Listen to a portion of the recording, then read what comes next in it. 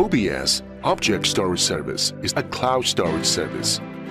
It provides secure, highly reliable, and cost-effective storage capabilities. With huge scalable capacity, it can store all types of files and enables you to easily manage the life cycle of stored data. You can access OBS through OBS Browser, a client that facilitates the management of data stored in OBS. Through OBS Browser, the maximum size of a single file that can be uploaded is 48.8 terabytes. This video demonstrates how to upload and download files through OBS Browser. The procedure is as follows. Download OBS Browser.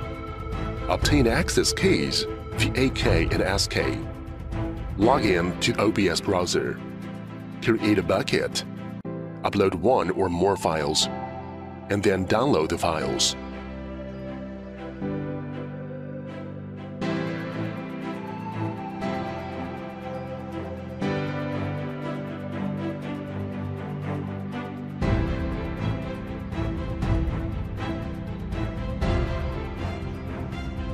On the homepage of Huawei Cloud Management Console, and choose Object Storage Service to go to the console page of OBS.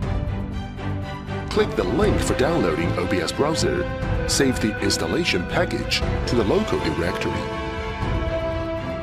Decompress the package and install the client. Click the username on the upper right corner of the page. Choose My Credential click the Access Keys tab and then click Add Access Key. Complete the verification information as required and click OK to save the credential file locally. Open the downloaded OBS browser package and double-click the obs.exe file. Enter an account name and the obtained AK and SK and click OK. The OBS browser homepage is displayed click Add Bucket. Select a creation method, region and storage class. Enter a bucket name and click OK. When the success information is displayed, click OK to confirm the creation. Click Create Folder and enter a folder name. Click OK to confirm the creation. Select the folder you've just created. Click Upload, choose Upload File, select one or more local files that you want to upload, and click Open. Select the storage class and click OK.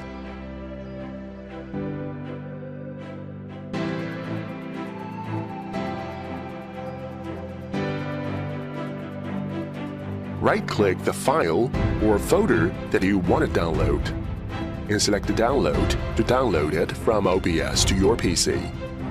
You can click the Task Management icon on the upper right corner of the page to view the download progress.